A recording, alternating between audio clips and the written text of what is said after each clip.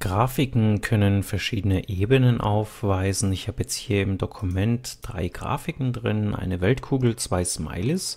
Wenn ich jetzt diese Smileys in Richtung Weltkugel bewege, dann sehe ich, die sind hier einmal davor und einmal dahinter.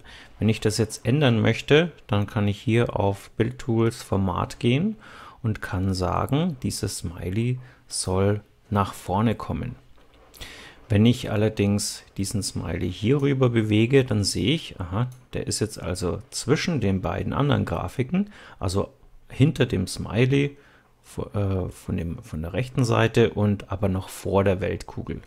Und wenn ich möchte, dass dieser Smiley im Vordergrund steht, dann müsste ich halt hier noch sagen, eine Ebene nach vorne.